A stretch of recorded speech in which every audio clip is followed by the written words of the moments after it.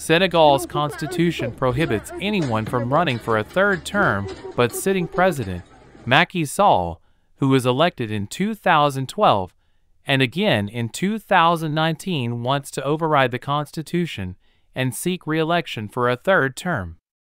Now with the help of the judiciary, he's going against his political opponents and his main opponent for next year February elections is Ousmane Sonko, who is very popular amongst the youths. Ousmane Sonko was accused of raping a woman who worked at Massage Parlor and making threats at her, and was charged to court in 2021. On Thursday, Sonko was convicted of corrupting youth, but was acquitted of rape and death threats, so according to them, his only crime was corrupting youth and not rape. They sentenced him to two years in prison.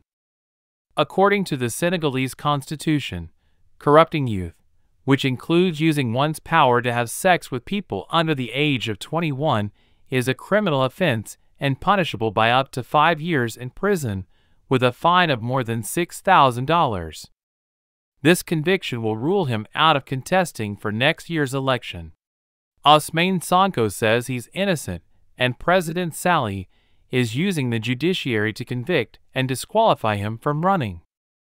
It was after the trial ended that the country went into chaos as supporters of Sonko hit the street in protest and confrontation with the police ensued.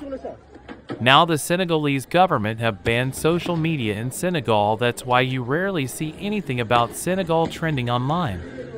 Is this democracy or autocracy?